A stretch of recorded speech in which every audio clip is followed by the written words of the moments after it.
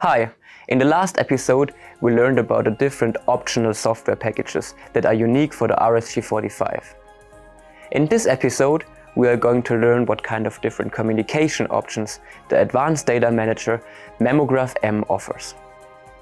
We are going to take a closer look at the USB interfaces, Ethernet interfaces with its different supported fieldbus protocols, the serial interface, or the optional GSM wireless modem. The USB interface can be found at either the front or the back of the device and can be connected to a USB mouse, keyboard, printer, barcode scanner or computer. The Ethernet interface is a standard feature that comes with every RSG45 regardless of the housing version. This interface brings many advantages such as including the RSG45 in your local network and using the web server or another analysis tool like the OPC server. Additionally, the RSG45 can be configured as a Modbus TCP client or server. This way, the Ethernet connection provides an option for a fast integration into your plant.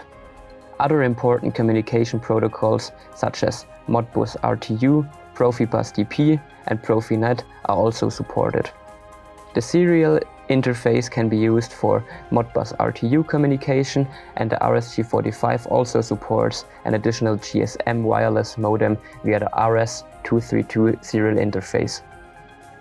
Please keep in mind that this interface is a separate hardware module that can be purchased additionally.